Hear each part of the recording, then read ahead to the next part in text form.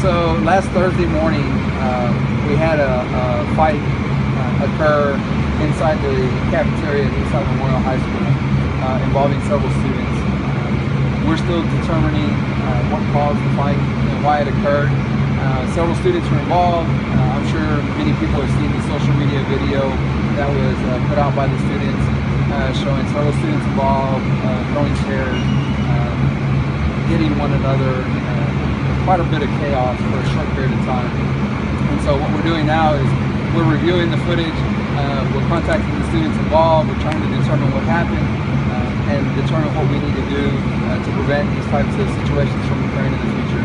Uh, the day of the incident, two juveniles were detained for assault uh, and they were transported to Gardner Betts Juvenile Facility.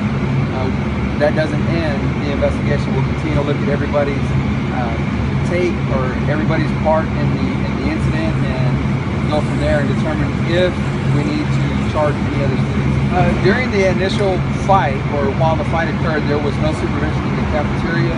Again, we're looking at all the uh, protocols and procedures uh, for the cafeteria and for what happened on that particular day. It was a staff development morning. Uh, and so a majority of the staff were in development, professional development, so we're trying to find out where the breakdown was on how uh, the students were left unattended for that short period of time. I do know that a security guard was in the cafeteria at the time, uh, or, or, prior to the incident occurring, when the security guard was pulled away, we were trying to find a student that appeared to be agitated on campus, we were trying to find out uh, more about that student. Uh, the, the, security guard was asked to look for the student, stepped out of the cafeteria to go check an area where they believed the student to be, and that's when the fight. Uh, the fight happened shortly thereafter.